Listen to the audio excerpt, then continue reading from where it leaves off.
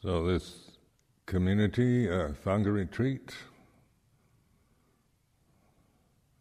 it, uh, I really appreciate those of you who've come up from Chithurst and Devon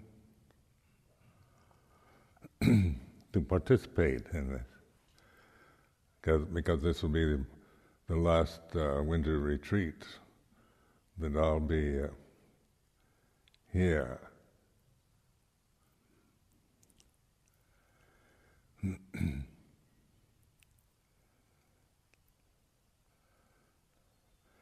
And this reflectiveness that I've, these like morning reflections,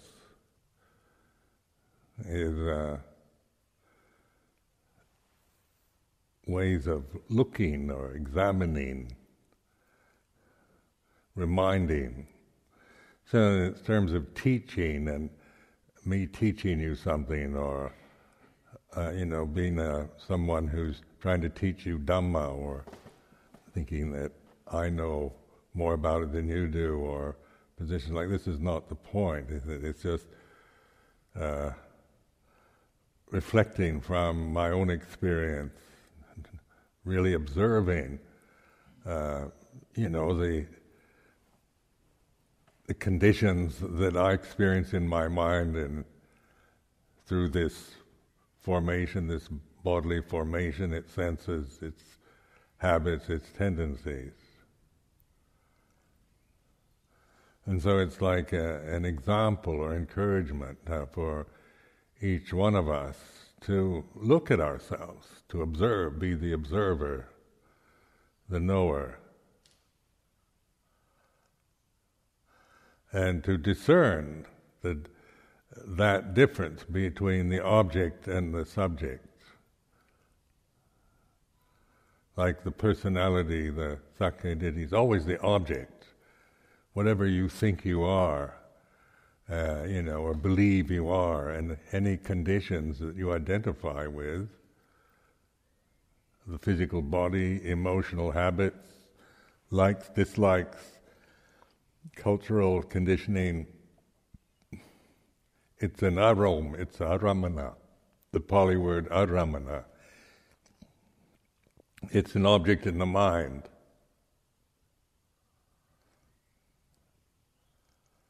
So this is a kind of, this is knowing, this is discerning from consciousness.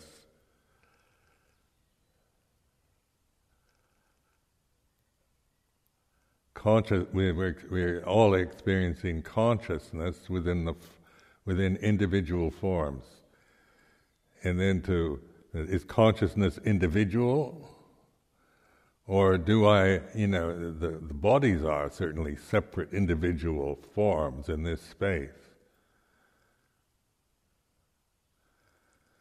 And so this is this is what we call, you know, my body, my space, my feelings, my memories, my loves and hates, my opinion. Comes from this uh, illusion of I am the conditions I am the aramana.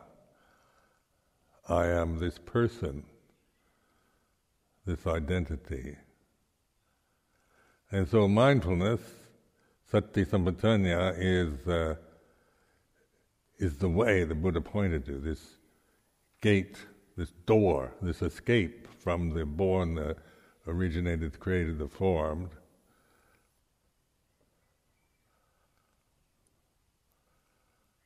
that most human beings are blindly attached to. We, we, you know, why are there so many problems and wars and hatreds and desires for revenge and resentments and you know among groups, ethnic groups, tribal groups, nationalities, races, gender,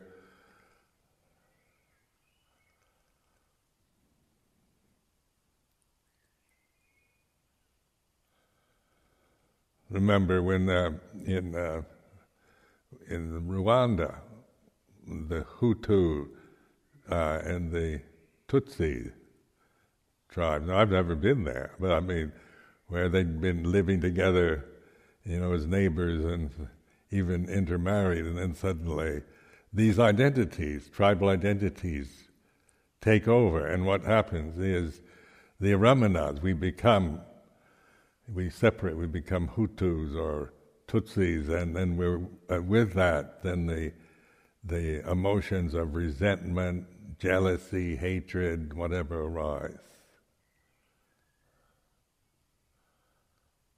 And yet, the same consciousness, you know, this consciousness of a Hutu, a Tutsi,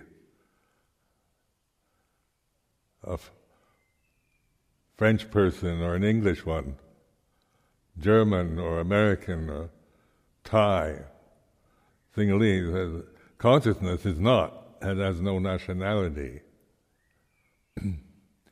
no quality, it doesn't have any quality that you can, you know, it's not yellow or red or blue, it's not good or bad, it's not right or wrong, but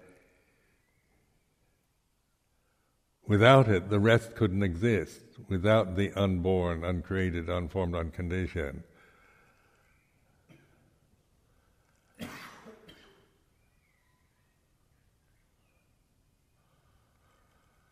And so, in this practice, this uh, of the Buddha's teaching, you know, the, this teaching is all about pointing, getting us to let go of this blind obsession with conditioned phenomena.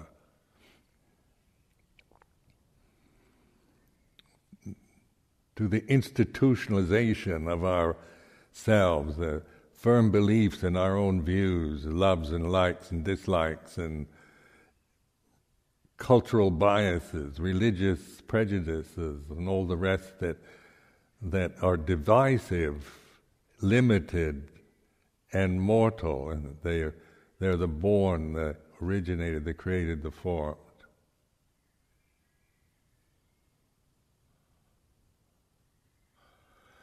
So whatever you believe you are, think you are, whether it's good or bad or high or low, it's not what you are. You're not a thing, not an aramana, not a personality.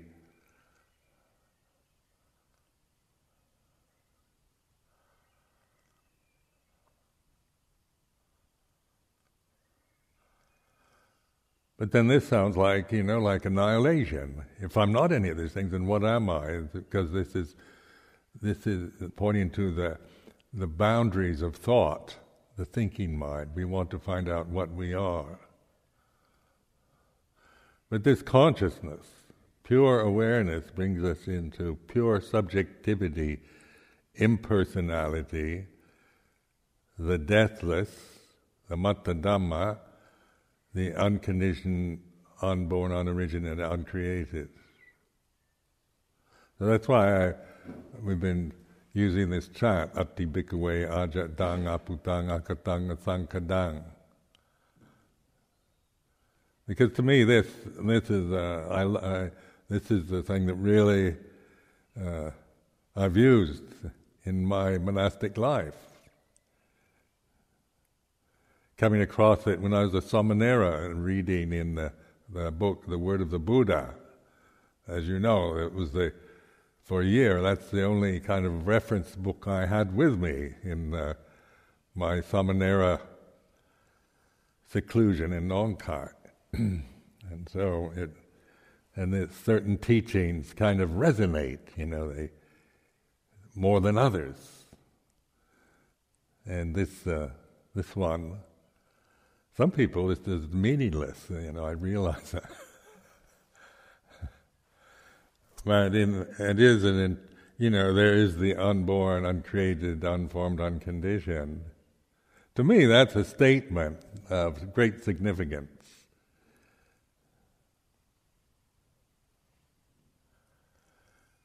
It's like a Buddha's announcing, saying, you know, there is, even within the, the seemingly hopeless sensory impingement and complexities of the born, the created, the formed, the conditioned. Because that's what we are as human forms, as individuals, as emotional creatures, as feeling entities, as men and women, as monks and nuns, as whatever. It's, we become complicated, neurotic.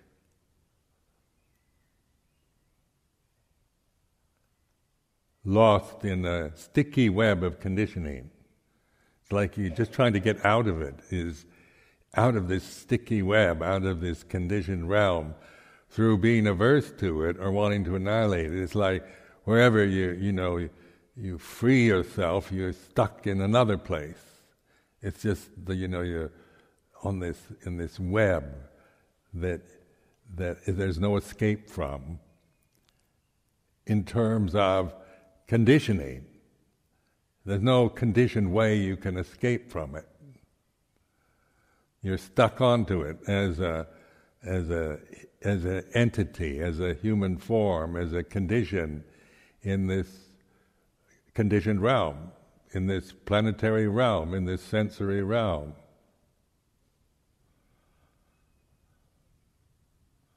The only possible way that you can think of getting out of it is to destroy everything, commit suicide, or blow up the universe, or whatever. You know, it's uh, that's the logic of the thinking mind, the dualism. You know,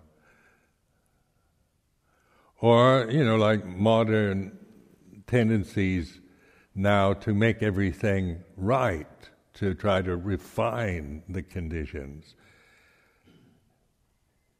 get rid of the evil, get rid of, annihilate the evil forces, kill the devil, annihilate the Taliban. You know, whatever we decide is a force of evil, and we want to destroy it, and that's that's the limitation of conditioning, isn't it? If I don't like it, I want to get rid of it. If I find something frightens me or intimidates me, I want to destroy it or run away from it.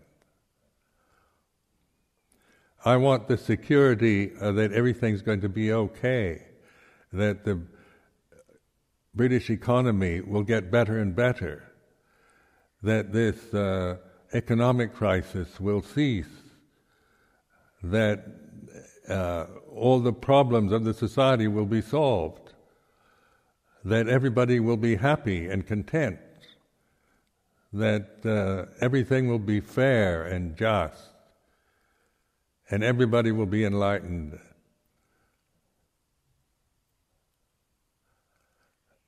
And so that's that you know from the conditioned plane that's you know what we would like and then what we don't like is the other. We don't like economic crashes, depressions, recessions. You know, we don't want to call this a depression because that, that we remember, some of us, you know, were born in the depression of the 1930s, which was, you know, I don't remember it. Uh, uh, I was so young then, but my parents were permanently affected by that. The rest of their lives, they, they worried about a depression, having another economic crash, another depression.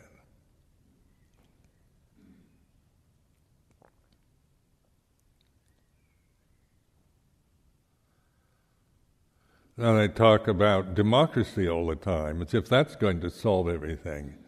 If we just, everybody becomes, every country becomes democratic. And yet, no matter how democratic you are, you know, still the problems have not been resolved. You know, in, in the basic delusion still operate. And within idealism and and uh, you know, wanting things, wanting things to be other than what they are, not wanting things to be the way they are, wanting something you don't have, is, uh, you know, it's an endless trap, the sticky web, the desire realm.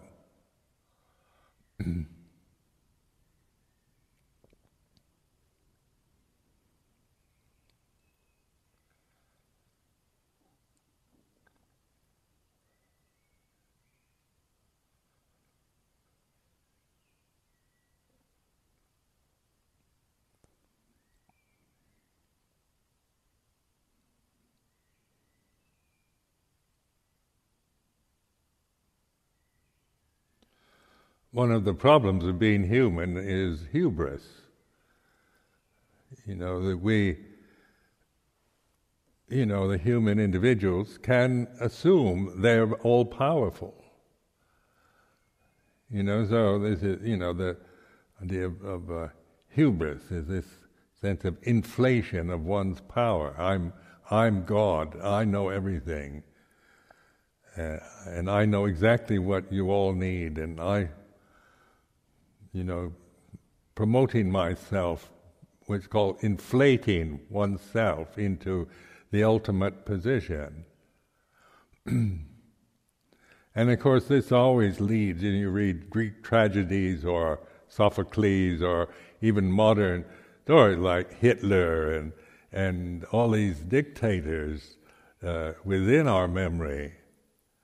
It was the experience of hubris, of proclaiming oneself as the savior of the world, or the Messiah, or the Maitreya, or God, or you know the the know-all leader and then of course uh, this uh, people get very intimidated, believe, disbelieve, react. War takes place, destruction. Now we all can, you know, there's a certain level of that in all of us, thinking, "I know best," or the, the, the conceit of culture, like European culture. You know, assumed back in before the First World War that the, the Christian Western world assumed that it was somehow progressive and superior to the rest. You know, so you have colonies, colonize Asia, Africa, islands in the Pacific, North and South America, all like this. I mean, this idea we're bringing civilization. You know, this is a conceit, isn't it, that our civilization, what our view, our opinion is, is somehow more advanced than somebody else's. And of course, there's certain, you know, if you're totally convinced of that delusion, you, it gives you a certain power over others like a demagogue or a, a tyrant, you know, just through, through assuming authority and coming from that position of knowing everything intimidates people. They they tend to because you know it's it's we don't tend to think like that. Think of ourselves as gods that know it all. One of the problems, isn't it, of one, the third fetter is doubt, vicikiccha, which is, you know, when we think and we, we, we doubt ourselves, we can be skeptical or uncertain, insecure, feeling of insecurity and uncertainty in our lives. So we, we'll align ourselves maybe with, with uh, those who seem to be totally confident. You know, I know I'm the way you follow me, and then we, because we feel insecure, then we can easily go along with somebody that seems to know all the answers and tell us what to do.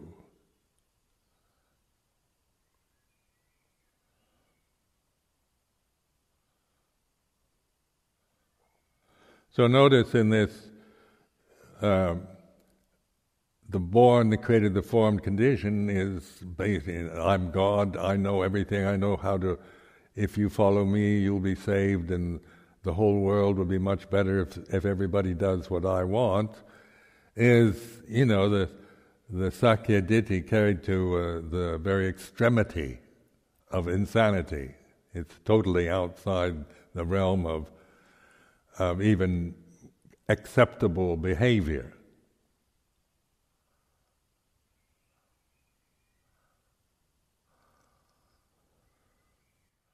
beyond the bounds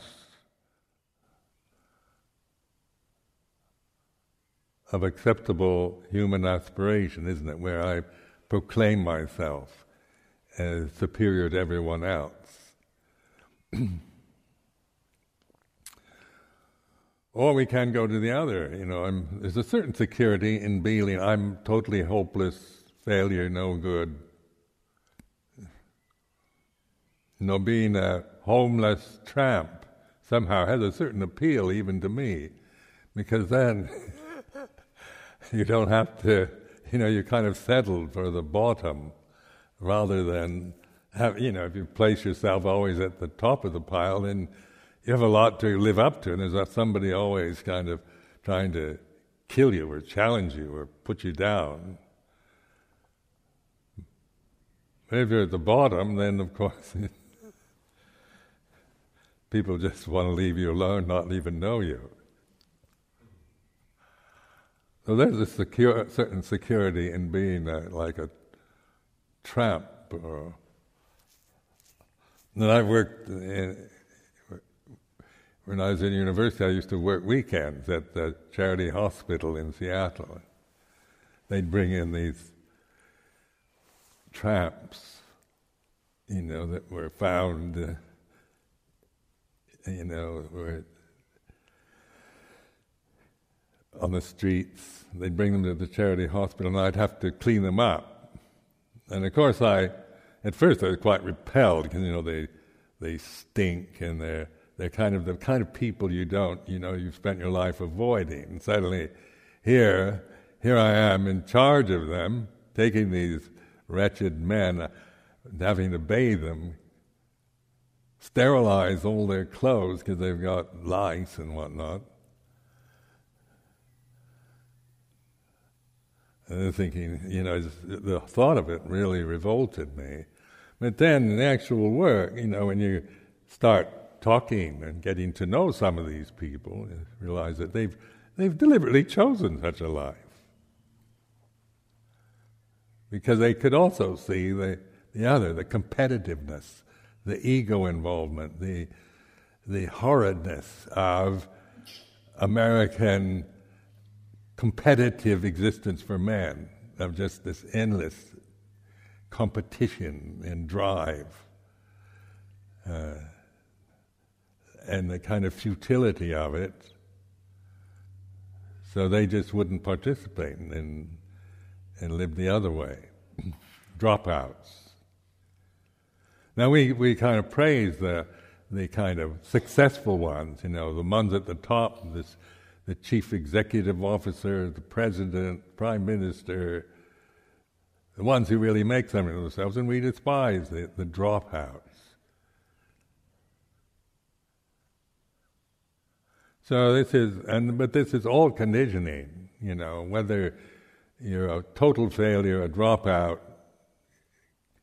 hated by the society, resented or looked or despised, or you know you're you're the most successful human individual in the whole world.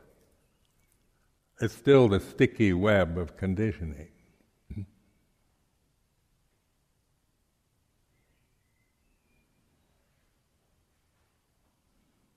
So then, there is the unborn, the unoriginated, uncreated, unformed. That's a statement, isn't it? It's not a philosophical concept. Like, I believe there's, uh, you know, something like the orig- unoriginated, unformed. It's, uh, you know, I like to take it quite literally. There is ati, this Pali word ati, there is bhikkhus, the unborn, uncreated, unformed, unoriginated. And because there is the unborn, unoriginated, the uncreated, unformed, there is escape from the born, the originated, the created, the forms. so this is this is the this is quite a you know this gives us a, a possibility of getting off this web, not through through destroying anything, but transcending it, no longer being bound, conditioned, trapped with the identities on the sticky web of conditioning, the samsara. We, we're not destroying it or rejecting it, But we're no longer stuck on it either. We're no longer bound into it, programmed, lost in it, deluded by it. And so that is the, there is the unborn, unoriginated, uncreated, unformed. Now then you apply that to the here and now, Paccuppanna Dhamma.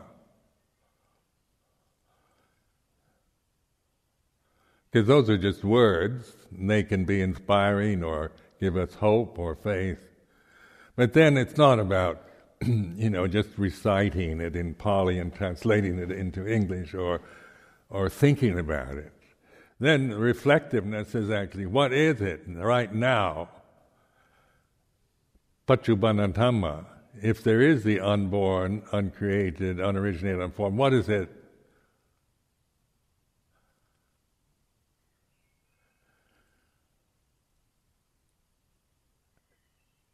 you know, it has to be here and now. It can't be something el- somewhere else or some other time. It can't be about the future of when I get my samadhi together, then I'll get it. Or I'm practicing now uh, with all these, you know, with these kilesas, these defilements, with these bad habits, with my personality and my problems, in order to uh, resolve them sometime in the future and then maybe I will understand and and recognize the unborn, unoriginated, uncreated, unformed. That is Sakkaya Ditthi, isn't it? That's the self view.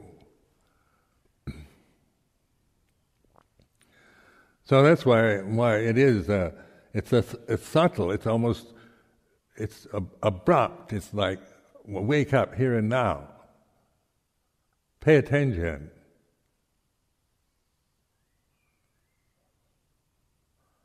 The unborn, unoriginated, uncreated, unformed. Now, when you stop thinking and, and, and, and stop, you know, stop trying to control your mind and, and uh, try to get something you don't have and get rid of something you have, when you have that shock, maybe, like a, a shock, suddenly your, your thinking mind stops.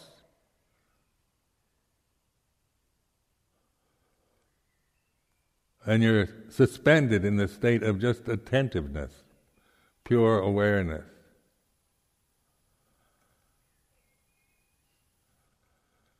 You know, so then mindfulness is, is recognizing this. Now, we can't just go around expecting shocks to do it for us. There's a limited, uh, limited limitation on just seeing that I need to be shocked all the time in order to recognize. so, out of compassion, the, the Buddha, you know, gave some very skillful means, like the Dhamma teachings to reflect and investigate and remind. To you know, therefore, they're very practical teachings. They're not airy fairy philosophical, metaphysical ideals.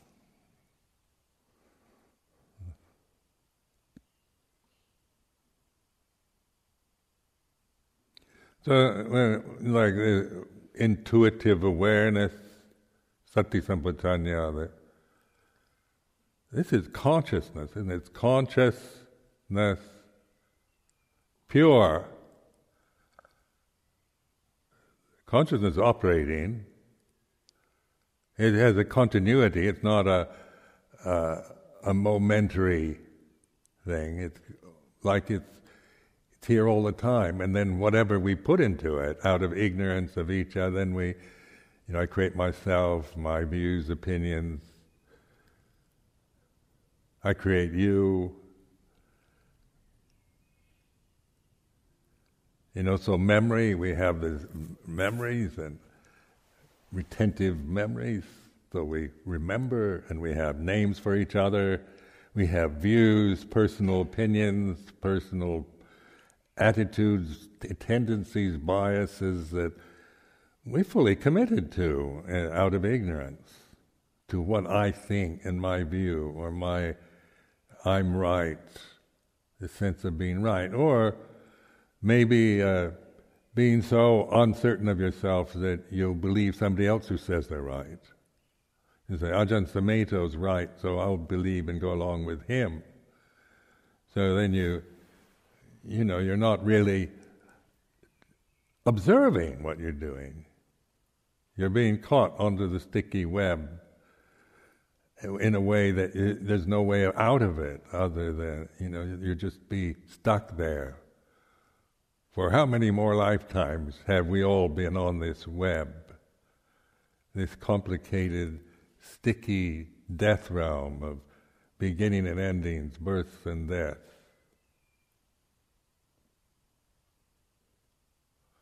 So in this lifetime, within this incarnation of the human, of your own human body, you know, this is the, this is the chance of a lifetime, or maybe many lifetimes, to, to break out of it, to see it, to learn, to, to be able to free yourself from delusion of this commit, blind commitment, helpless powerful samsaric conditioning, this sticky web, that no matter how hard you try to pull yourself out of it through ignorance, you you get even more stuck into it, more lost and deluded by it.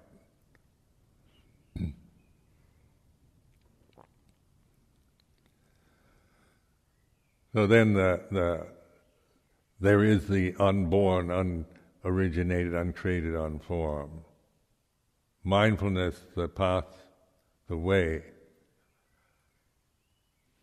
And then mindfulness is the simplicity, ultimate simplicity of pure conscious attention, awareness here and now. Now, consciousness is expansive, it has no boundary. But the boundaries we put, we create in consciousness are, you know, me and mine, the conventions, we have the identities that we, you know, what we think we are, our beliefs, our doubts, our fears.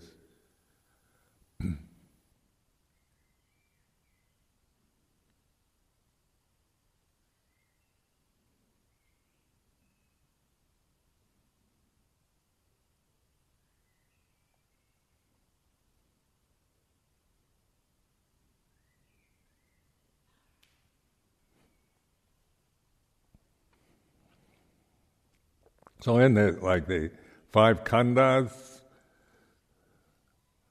the uh, rupa, vedana, sanya, sankhara, vijnana, the six uh, senses, the ayatanas, consciousness through the senses, through the eyes, ears, nose, tongue, body, mind. So consciousness, we're sensory. Uh, when we experience life through the senses, through the body, then then that's all we know. We we see it always in the limitation of pleasure, pain, me and mine. But because we can be aware of sense consciousness, we can observe, we can be the knower of seeing, hearing, smelling, tasting, touching, thinking, feeling. You know, if we couldn't do that, then there'd be no hope. We're just helpless victims of our conditions. We just, you know, if we get good conditions in the past or terrible ones, we're the victims of it. Of what happens, of the past, of what others say and do, of the societies and and that that we live in. We're just helplessly lost and victims of unfairness, injustice, wars, violence.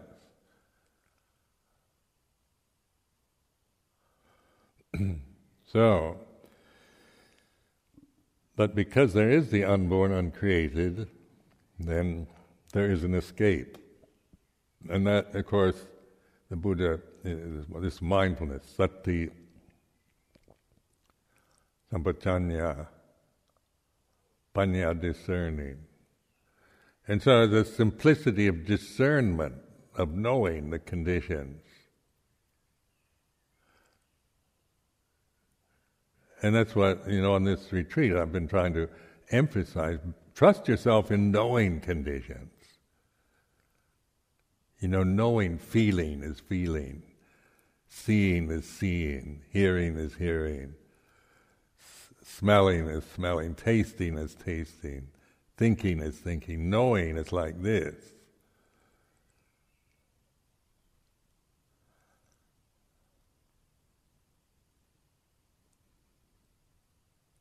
So that there's this knowing of conditions uh, and the five khandhas, the sensory uh, consciousness, and the and the experience of feeling and and uh, pleasure, pain, beauty, and ugliness, of neutrality, because we can be aware of of whether you know whether the present moment is pleasant, neutral, or unpleasant. This knowing and consciousness with wisdom, discerning, knowing when there's hatred and when there isn't any.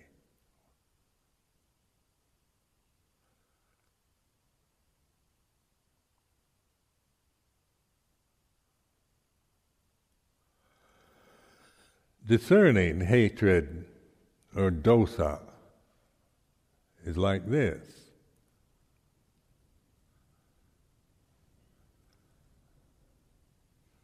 And when and when you when in this way you're not judging it or indulging or suppressing, you're just recognizing hatred, dosa is like this. And if you're patient with with the arising of anger in your mind, if you allow it, you know, neither act or speak on it, then it ceases. And then there's discernment of non of adosa, non-angers like this. This is this is discern this is panya.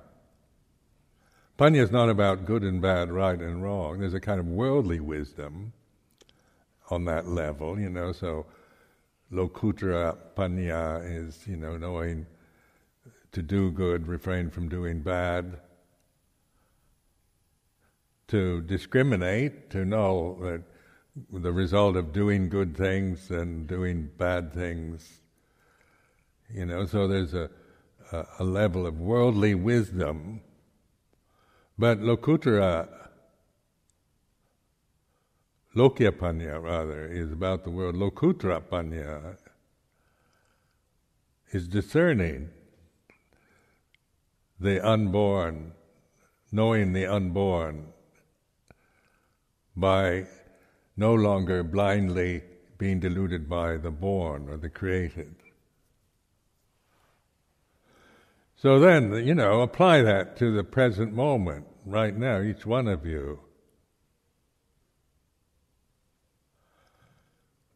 So then you, you're, you're knowing that right now, this pure,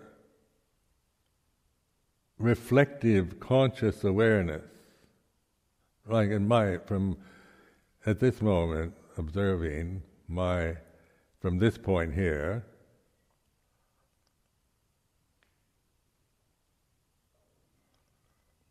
there's no anger.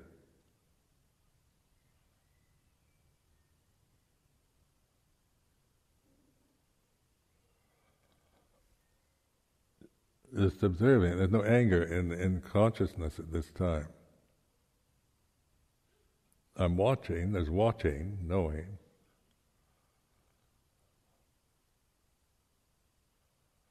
So this is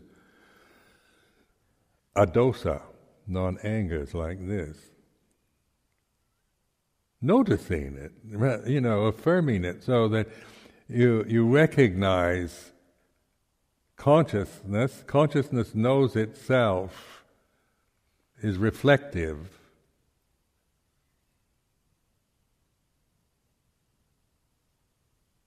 No greed, no hatred, no delusions like this.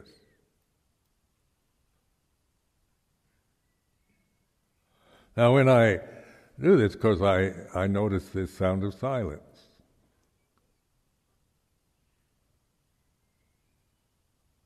It has this stream like,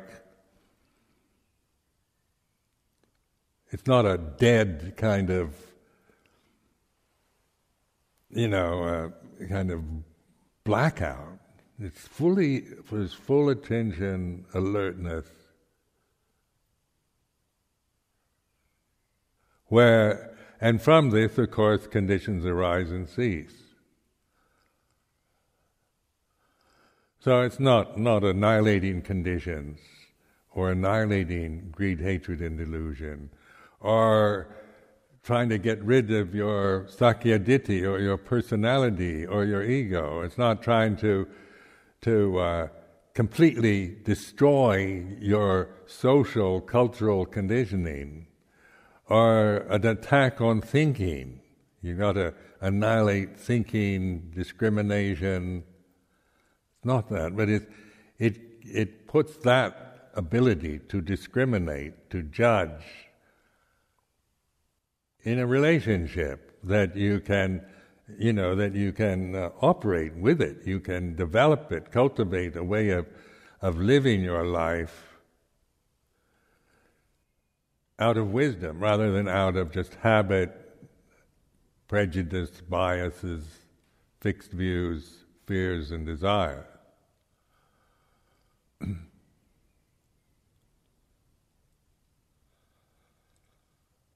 so from this, then the Vinaya is is a, is a convention for living one's life in the human form that is, um, you know, if used properly, is way of living in the world out of compassion.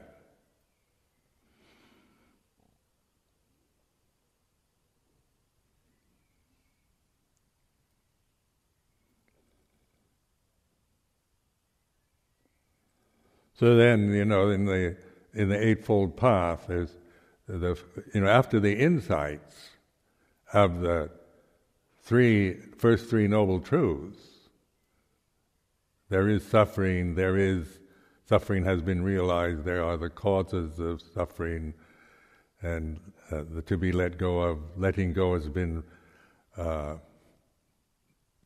you know, has been accomplished. There is uh, the end of dukkha this is this is recognized now. End of dukkha. It's always here in the in the citta, isn't it? The end, the beginning, the ending, and the observing of beginning and ending. And then there's right samaditi sama sangapo, which is uh, right under, perfect understanding. And this is perfect understanding and uh, following this sequence. This isn't just uh, right understanding in terms of lokiya of the worldly, worldly wisdom. This is perfect. This is complete and perfect understanding, enlightenment, in other words. Samaditi, sama sangapo, and that you know, inclines us toward how we live our lives uh, in the lifespan that we have within this form. Toward samavaja, samagamanto, samachivo, right speech, right action, right livelihood. So in the use of vinaya, then samavaja, samagamanto, samachivo is perfected if lived in the right way. You know, if not if we identify uh, cling to Vinaya and, and, and the uh, structures of Vinaya and identify ourselves with always out of ignorance and sakkayaditthi with, with uh, the Vinaya, then of course we miss the point. It's not for clinging, for attachment, for ignorance. It's for mindfulness. That's the whole point of Vinaya. It's for awareness, not for attachment, identity, personal positioning.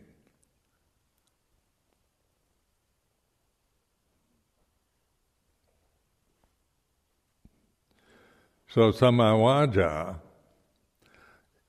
you know, this is being able to speak, to say, to use our voice, you know, how we relate through speech to the world around us, to the society we're in.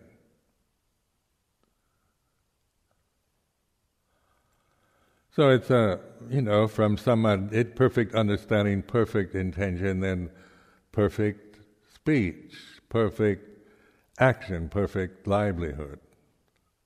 So then there's alms mendicants, there's perfect livelihood. Gamanto sama, gamanto sama achivo.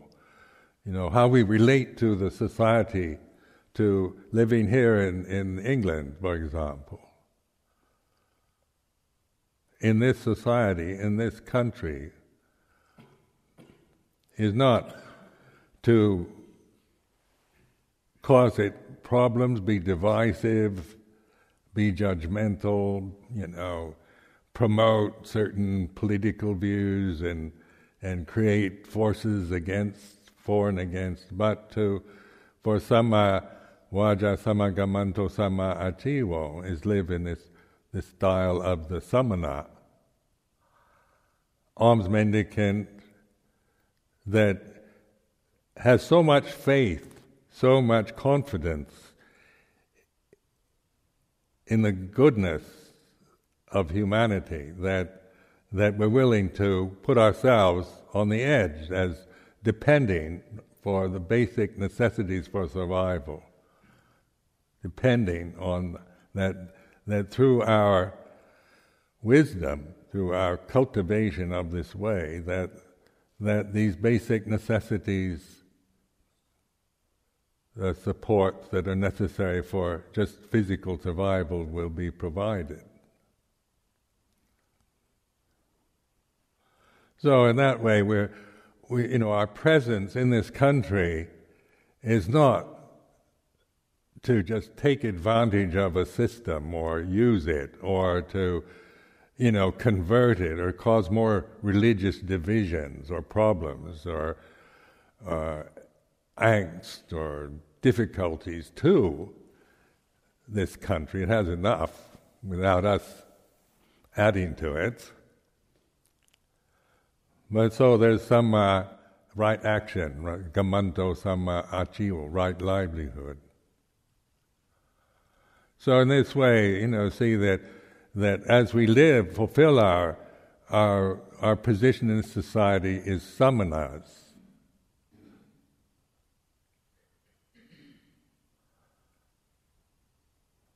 Those who are content with little, not greedy, not caught in the, in the com- competitiveness and the, and the uh, views and the present day opinions and ideals and uh, that of modern British society, we're not condemning it either. We're not judging it.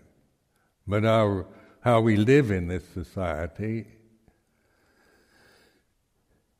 isn't through, you know, through personal preferences or views, but through compassion, through metta, karuna, mudita, upekkha, the Brahma Viharas, the divine abodes.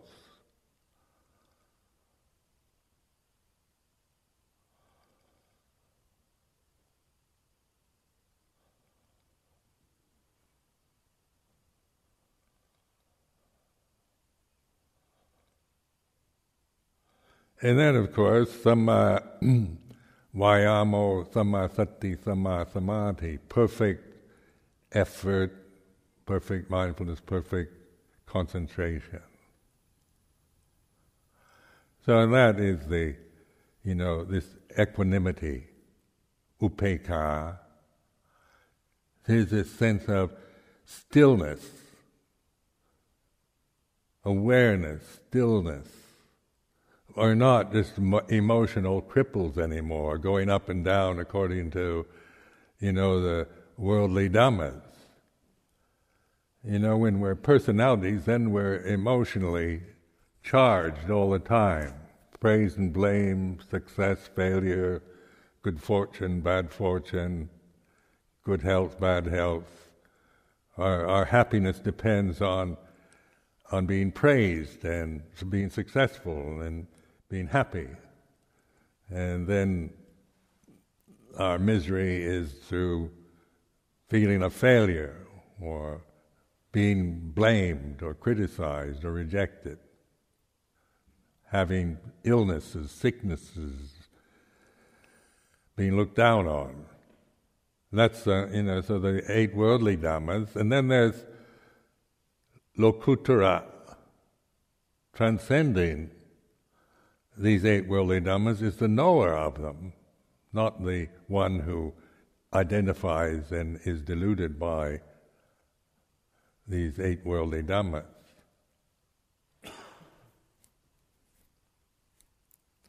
Now, the knower of the eight worldly dhammas is not any of the eight worldly dhammas.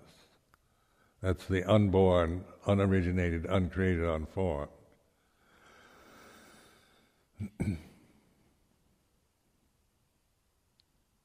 then the the Sakkaya the first three fetters to stream entry,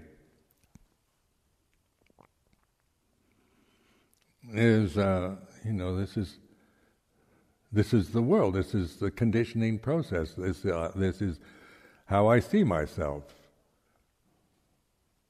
Me and mine, what I think, my position, my role. So, as a senior monk, as a patriarchal old Mahathera, as an upajjhaya preceptor, all these things, all these, you know, as someone who's the big cheese, maybe, or the boss. You know, how many of you see me in those perceptions? Big father, authoritarian figure.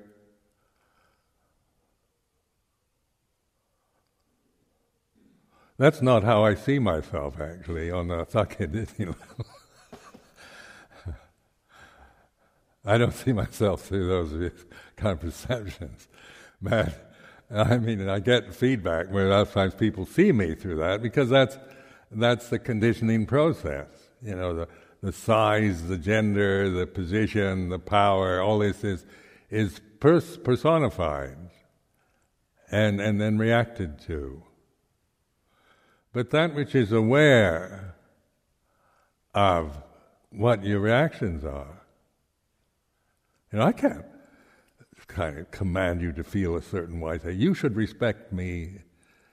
You know, then I become like a, a nagging person, you know, that you should respect your elders and you should be grateful for all I've done for you. And then, um, uh, then I, I go on a tirade of all the things I've done here and for you, and, and uh, I expect gratitude and respect for that.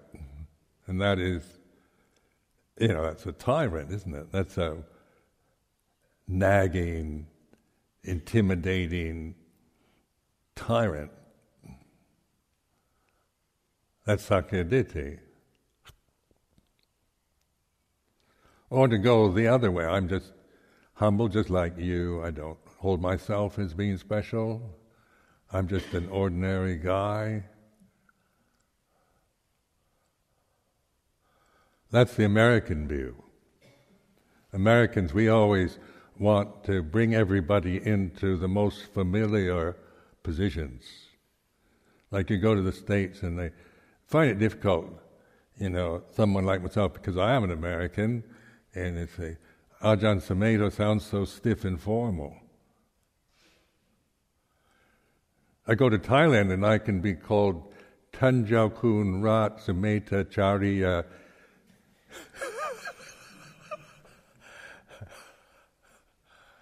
and it goes even on further, but I forget the whole title. but in America, that, that would be ridiculous.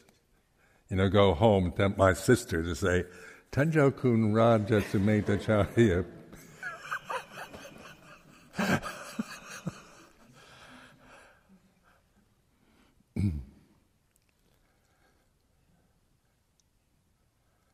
so inevitably, they want to call you Bob, which is a name I loathe.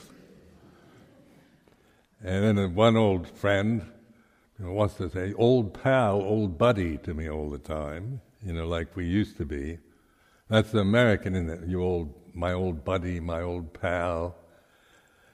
In England, they're a little more respectful. They don't quite sink that low. but Americans, you know, they want to call me Sumedho, or no, that's even that's too formal. Maybe Sue.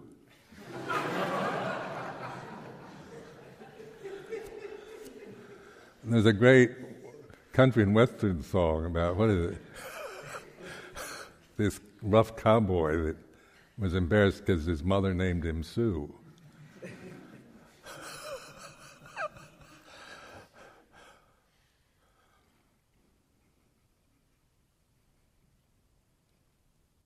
but these are cultural differences, isn't it? Like Thailand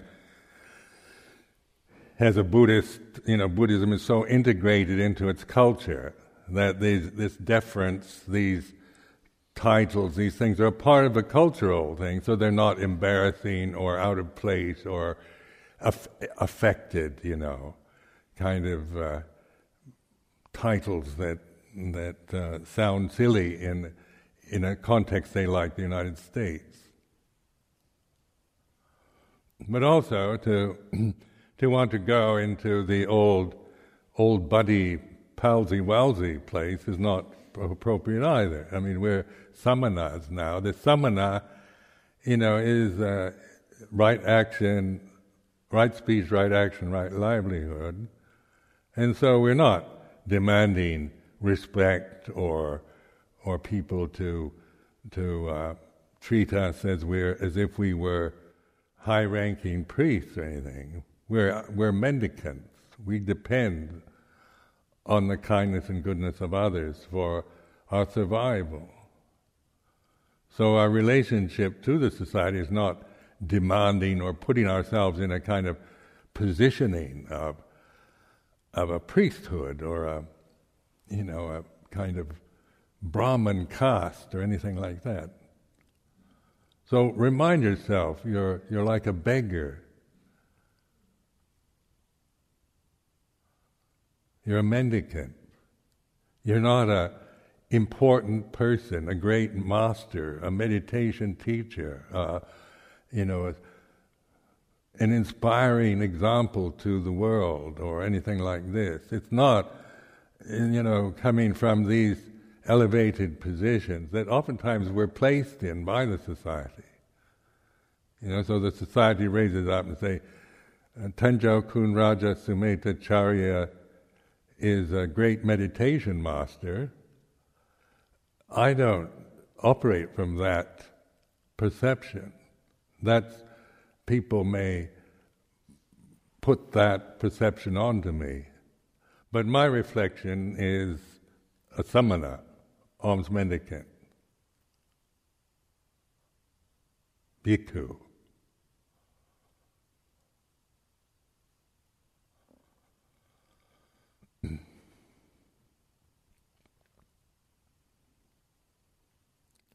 And if I see myself operating from this, I'm the great meditation master position, you know, I can recognize it.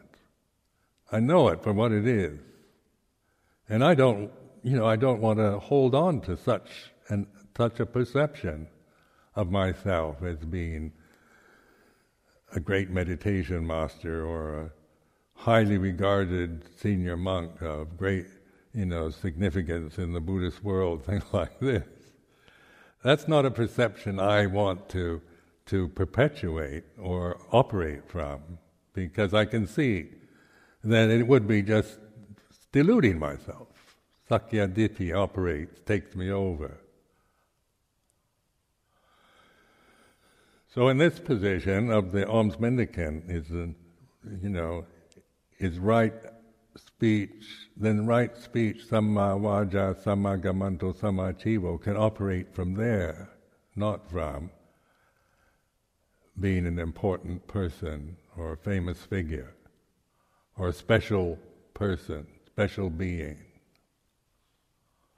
So in this sense, we're all something like the ordained sangha, the the uh, bhikkhu sangha, siladhara, the samanas.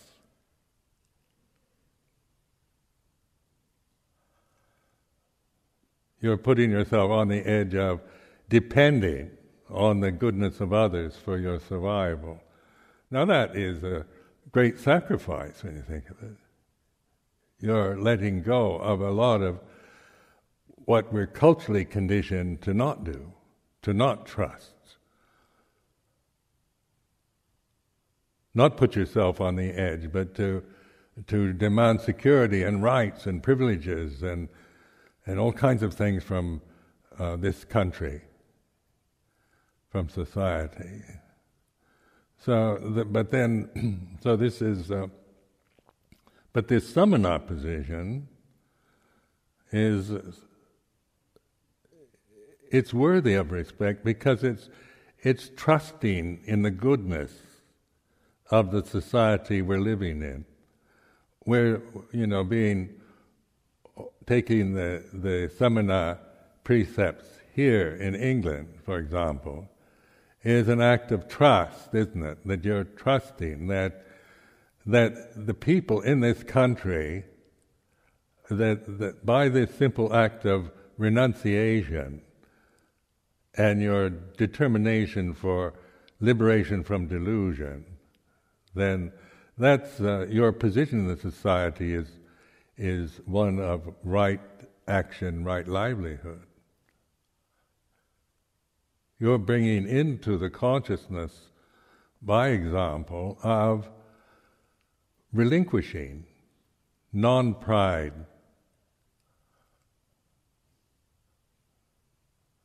non arrogance, non conceit, non divisiveness, just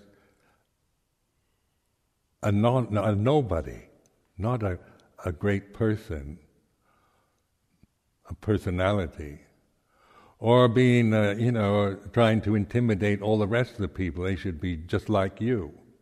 You know, I could be a, an arrogant samana. You know, you should all be like me. And uh, humble like I I'm the living, ex- living example of complete honest humility. and of course, that's ridiculous, isn't it? It's not, it's not being anything. Being this knowing, this unborn, uncreated, unformed. Being this awareness.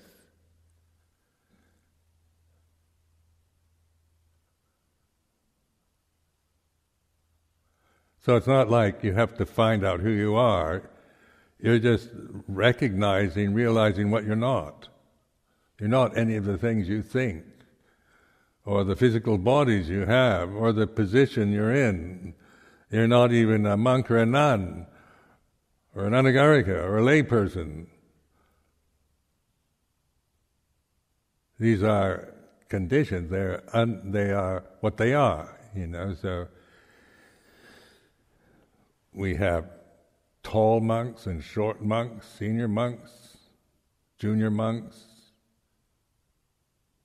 nuns tall nuns, short nuns.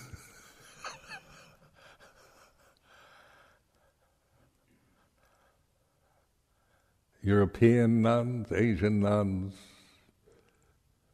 These are just the discrimination of the conditioned realm. Then in, then the, because we live together in a community, then the, the Vinaya is how we, the agreements we have on duties, responsibilities that we, we, we accept within the structure of the uh, traditional Vinaya. So this is the challenge you, we all face, you know, to, and, and if you're willing to do it, then you can. You can root out the, the, this basic ignorance, kind of uh, extirpate delusion, let go of the conditions that, that create the illusions in order to abide in the pure, unborn, uncreated, unformed, unconditioned, which is ultimate reality, which is truth, which is Dhamma.